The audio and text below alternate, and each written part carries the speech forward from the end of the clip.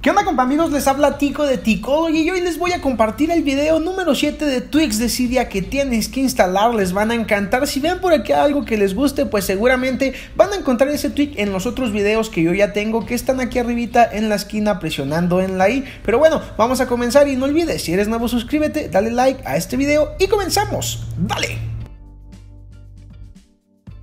El primer tweak se llama Dating Status Bar. En la descripción les voy a poner repos, ¿vale? Este tweak, ya que lo instalamos, nos va a dar un reinicio rápido. Y en el Status Bar, en nuestra barra de estado, nos va a poner la fecha a un ladito del reloj. Y como pueden ver, pues si les gusta estar viendo la fecha y demás, pues este tweak está bueno. Es muy útil, muy sencillo y la verdad súper bueno. Ahora vamos a pasar con Glacier. Este tweak lo que va a hacer es que nos va a dar otro estilo en nuestro centro de control.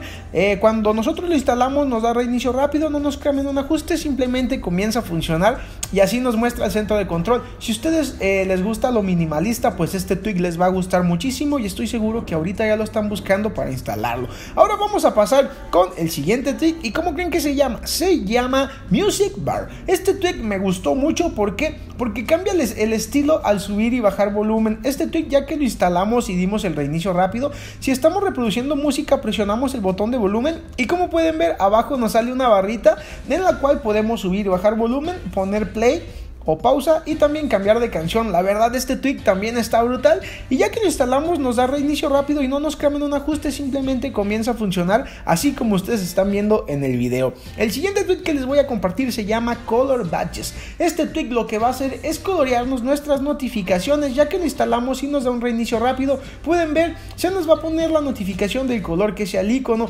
Esto lo podemos configurar después en ajustes, pero yo los recomiendo que lo dejen tal y como está después de que se instala, pues así está la perfección. Así que si ustedes quieren jugar, pues aquí están los valores, pero yo les recomiendo que lo dejen tal y como está. ¡Ey! No olviden, dejen su like. Y vamos así, vamos a pasar, perdón, con el siguiente tweet que se llama iCleaner Pro. Este tweet se lo super recomiendo. Vayan, descarguenlo todos los que estén viendo este video, porque bueno pues porque con este tweak nosotros vamos a poder hacer una limpieza que más que tweak es una aplicación lo que nos va a instalar y cuando la abrimos aquí pueden ver tenemos varias opciones para limpiar, simplemente seleccionamos, le ponemos limpiar y nos va a hacer magia, nos va a hacer una limpieza bastante buena en el dispositivo. Yo en este caso no lo hago para que el video no sea tan largo, pero bueno, yo en serio les recomiendo que descarguen este tweak. Y por último nos vamos con IntelliX. Este tweak está brutal, por ahí me pidieron que pusiera un tweak donde pudiera agrupar las notificaciones y este tweak es lo que va a hacer. Aunque este tweak parece que tenemos que comprarlo para que funcione, pero como pueden ver nos va a hacer esto.